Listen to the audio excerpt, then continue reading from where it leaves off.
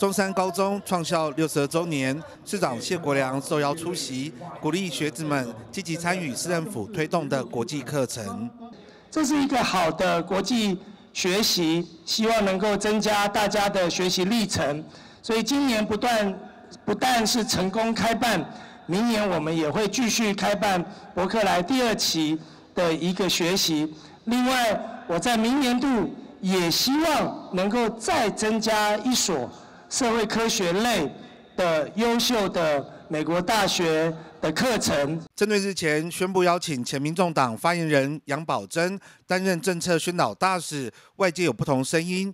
市长谢国良亲自说明，外界对他也有一些误解，他那个是啊，整个他的团队跟做出来的结果的整个合作案劳务采购，然后大家就是要。呃，把它讲成说他是他的月薪，我觉得对他这样不尽公平。不过重点就是，我们相信宝珍是有宣传基隆的能力的哈。啊，这个周末他就要来为我们的街舞大赛来宣传。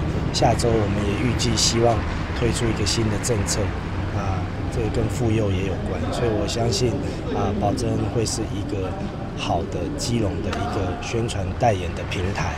同样的，有市议员质疑城市代言人安心雅出席金融活动率低。市长谢国良强调，科目预算是一整年的，相信未来会有更多的宣传内容。代言的部分呢，我们是一整年在进行，相信大家都可以看到，他有很多的这个代言已经在啊公车广告上面啊，在客运广告上面，一千两百万绝对不是只有啊给安心雅啊一个代言的艺人。所以我想这样讲，对呃这些艺人都是不公平的。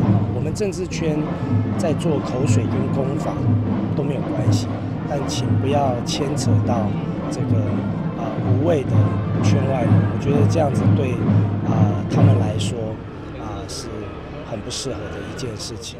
记者黄少明，金融报道。